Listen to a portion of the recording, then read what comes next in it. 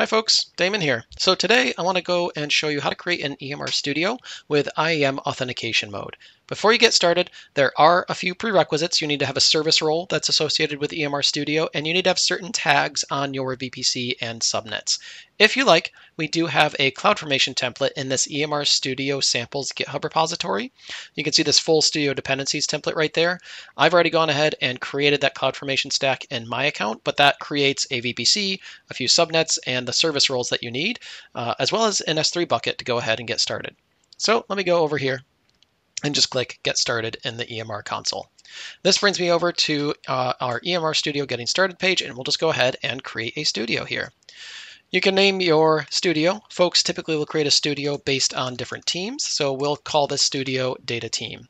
You go ahead and select a VPC that you want it to live in. Again, you need to make sure that VPC is tagged with that uh, for use with Amazon EMR managed policies right there, and select a couple subnets that you can use. These subnets will be used when you create EMR cl clusters, or if you're connecting to existing EMR clusters, they'll need to be in those subnets. You can also select default security groups or custom security groups. Uh, as mentioned, these are created as part of the CloudFormation template, so if I just select Engine Security Group there and Workspace Security Group there, I'm good to go.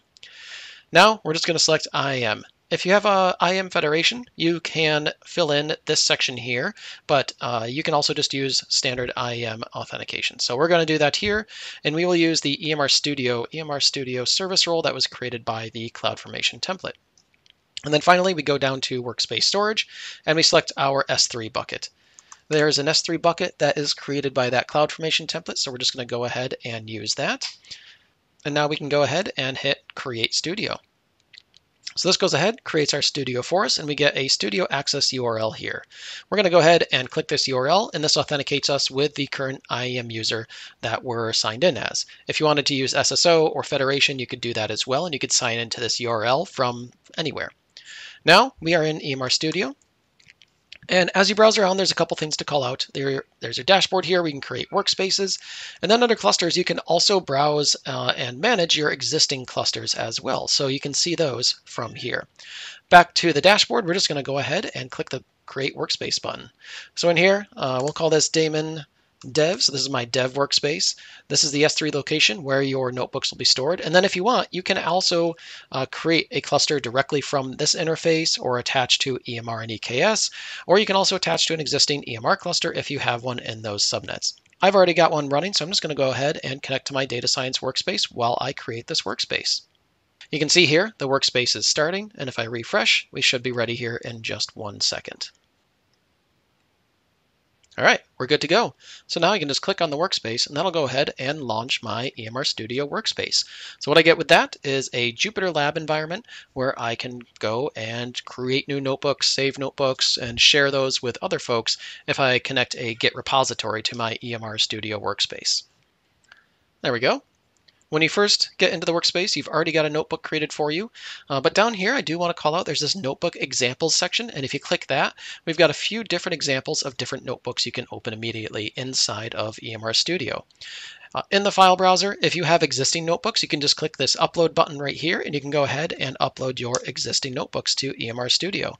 And I can go ahead, open that notebook. This is a notebook that I had in a different JupyterLab instance. You can see I'm attached to my cluster already. And since this was a PySpark notebook, I'm already attached to the PySpark kernel as well. So I can just go ahead, hit run, and run all the cells in this notebook. And that'll go ahead and start a Spark app on my EMR cluster and spin up uh, my analysis. And in this case, I'm just reading some weather data from the NOAA uh, Global Surface Summary of Day dataset. So that'll spin up a Spark application and go ahead and process some data. If you want to see what cluster you're connected to, there's the EMR clusters button over here. You can see I'm connected to my data science cluster. And down here under advanced configuration, if I want, I can also easily connect to or create a new cluster down here just by specifying the EMR release and the number of instances I want. Really easy.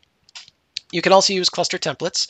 So if you've got um, EMR Studio connected with Service Catalog, you can have cluster templates here, and you can have these really simple clusters where you can just spin up uh, those clusters uh, with predefined settings and all that kind of fun stuff.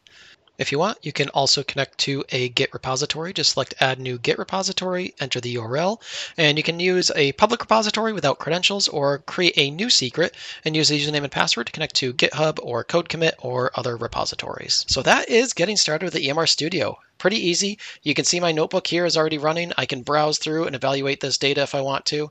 Uh, you can see we're going through and pulling out some different um, different weather data and pulling out some feature attributes here from that fog, rain, snow uh, set right there. And so you can see that we're doing some analysis here and it's just going to go through and run that notebook and write it back out to an output bucket. So that is a quick intro to setting up EMR Studio with IAM authentication mode. Thanks. Have a good one.